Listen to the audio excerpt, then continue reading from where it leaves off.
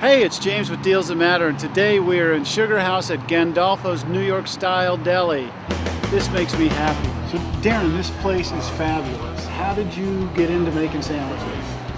Um, about uh, two years ago, I um was half owners of a plumbing business, and the economy Yeah. kind of fell, and uh, I just I bumped into this. One thing led to another, so I went from plumbing to owning a deli, making sandwiches. Have you enjoyed it? You know what? I have. Well, the food's outstanding.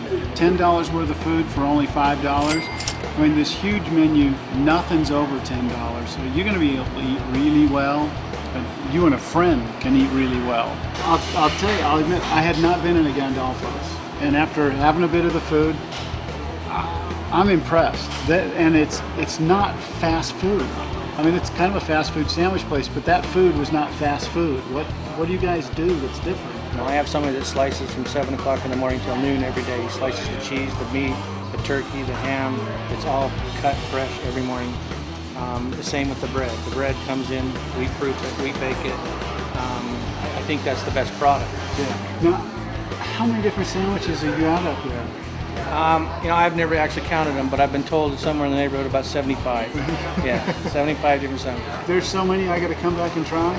Every day we have a $2 breakfast sandwich. It's two eggs on a Kaiser um, for two bucks. For two bucks. And then on Saturdays and Sundays we do a buy one at the regular price. You get the second one for two Now bucks. wait a minute, you just said Sunday. Yeah, we're open Sundays.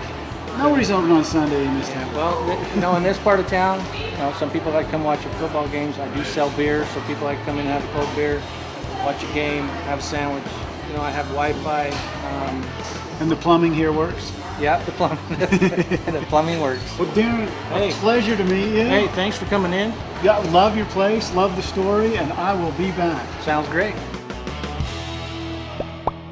So please remember, these aren't just great deals. Each of these deals benefits your cause. That's why they're deals that matter.